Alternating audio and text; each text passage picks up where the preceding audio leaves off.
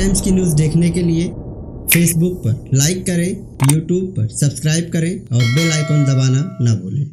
मैं इस्लामुद्दीन खान और आप देख रहे हैं प्रहार टाइम्स। भिवंडी के जब्बार कंपाउंड में एक गोदाम में रात के समय करीब एक से दो बजे के आसपास में भीषण आग लग गई। आग की लपटें आप देख सकते हैं कि कितनी भीषण ये आग लगी हुई थी।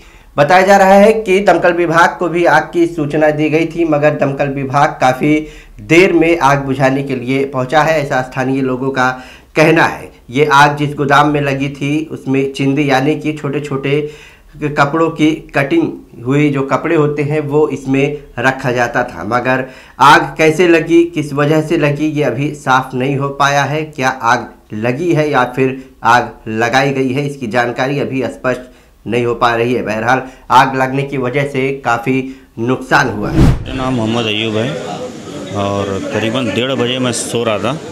तो बाजू वाले ने आके आवाज़ लगाई कि भाई आपके गोदाम से धुआँ निकल रहा है। जब हम लोग भाग के आए जब तक अंगार पकड़ लिया था एकदम। क्या मटेरियल क्या था मटेरियल इसमें जो कारखाने का लोचन निकलता है वो लोचन था। फायर ब्रिगेड की गाड़ी टाइम पे पहुँची है। आधा घंटा लग गया कम से कम उसको आने में। कितने का माल था? लगभग चार से पाँच लाख का माल था। क्या लगता है किस पे कारण आग लगा होगा? ये कुछ समझे में नहीं आया जब आप सो रहे थे तो कैसे बताया कैसे लगा? कितना गाला है उसके अंदर? वो एक ही गाला है। एक ही गाला है। एक ही गाला। मटेरियल क्या था उसके अंदर? मटेरियल कारखाने में जो वैस निकलता है लोशन वो लोशन था।